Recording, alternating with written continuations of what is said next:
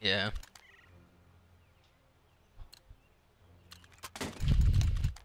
Let's show them who we are.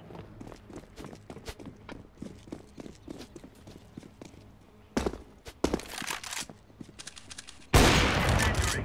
Shot.